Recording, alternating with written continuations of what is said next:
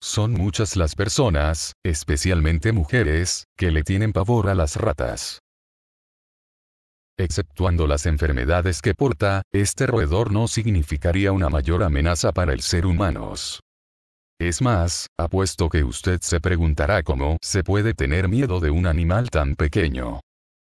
Bueno, permíteme compartirles un oculto y aterrador lado que no conocías de estos animales.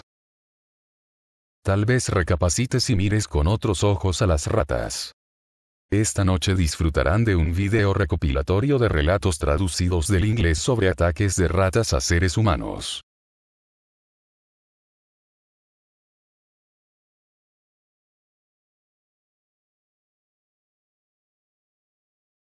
Me llamo Jerome Tull. Soy un hombre afroamericano. Soy recogedor de basura en la ciudad de New York, trabajando en ese oficio desde hace varios años. He visto muchas ratas. De todos los colores y de todos los tamaños. Cuando levantaba la tapa de los contenedores de basura, varias ratas se iban corriendo. Aquello me daba miedo.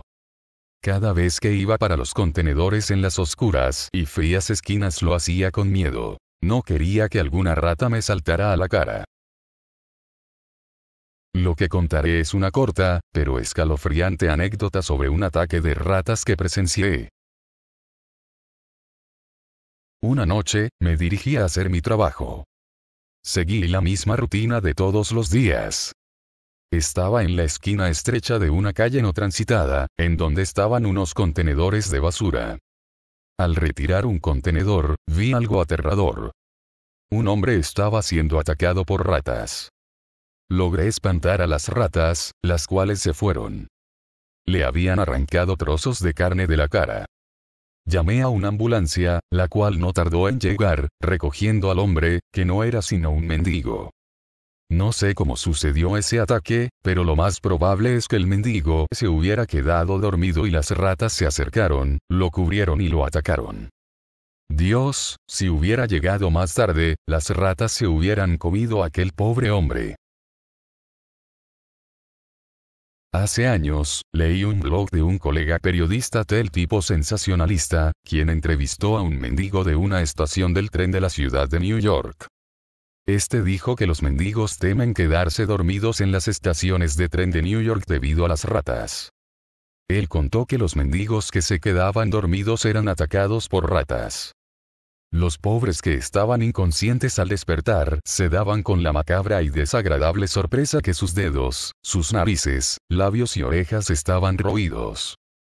Incluso, destaca el caso de un mendigo que se despertó con su completamente roído, tanto que había quedado únicamente el hueso.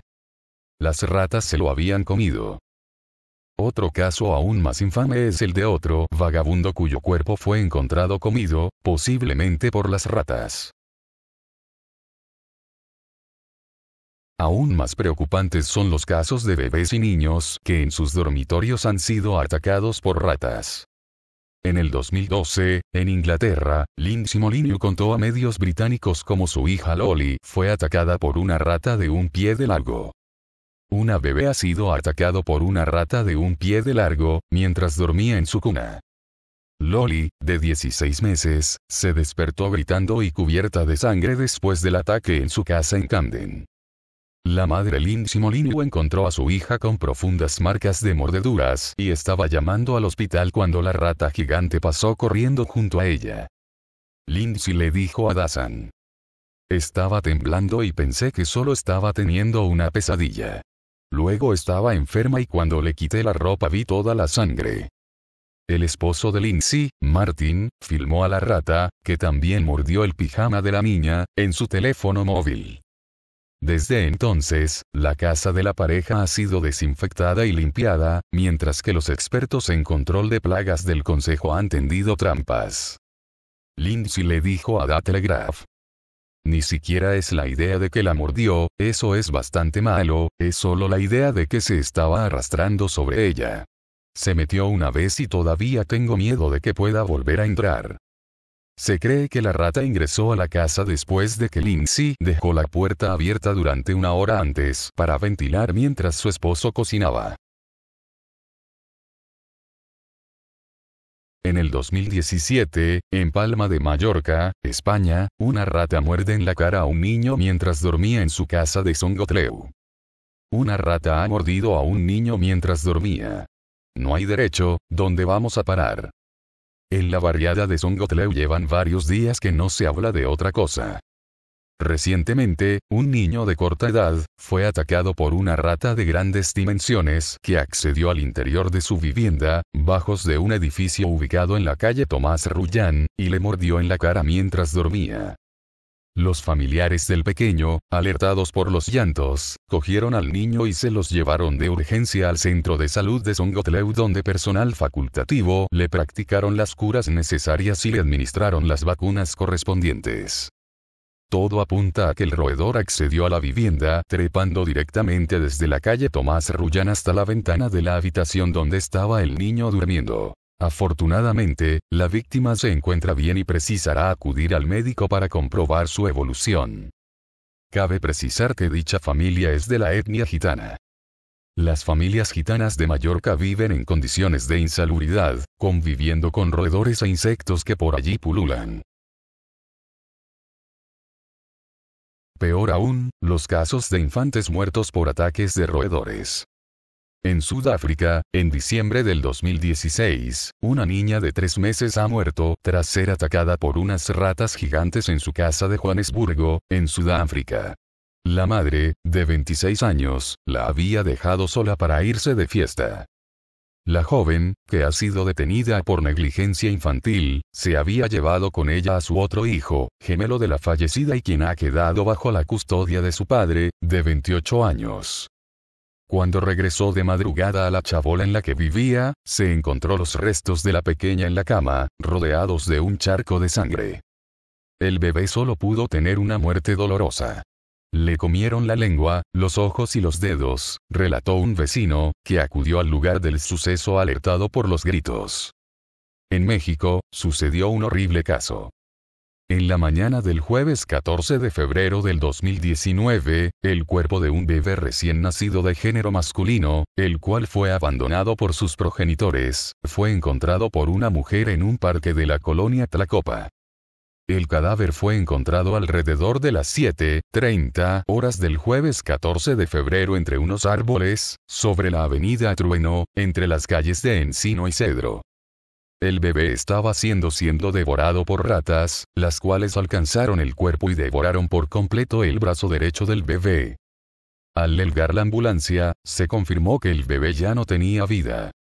Las autoridades no pudieron determinar si el bebé estaba vivo antes de ser mordido por la fauna. Más reciente, en este 2022, sucedió otro caso lamentable. En junio del 2022, otra vez en México, en el estado de Nuevo León, una niña de 7 años fue encontrada sin vida en el domicilio en el que vivía. Cuando su madre observó el cuerpo de la menor, de tan solo siete años, se percató que presentaba mordeduras de ratas. Laura Lisette Anguiano, de 26 años, madre de la niña, dijo que el domingo la pequeña se sintió mal de la espalda. El lunes la llevó a consultar. Ese mismo día, por la noche, se recostaron en el piso de la vivienda. La madre detalla, que el martes por la mañana se percató que la niña no se movía.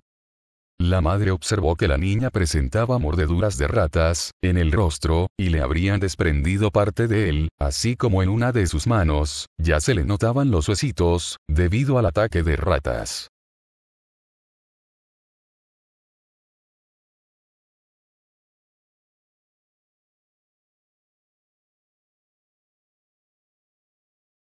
Mucho se ha hablado de la tortura de las ratas, ese método de tortura en que se colocaba una jaula en el vientre del prisionero, la cual contenía una rata, y que mediante el calor, hacía que la rata excavara entre los intestinos para poder salir.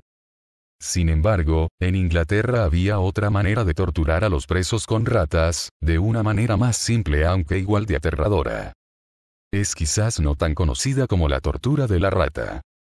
Se encerraban a los prisioneros en una habitación, bodega o almacén, completamente oscura bajo el nivel del agua del Támesis, en la famosa, tenebrosa y temida Torre de Londres, la cárcel por excelencia de Inglaterra.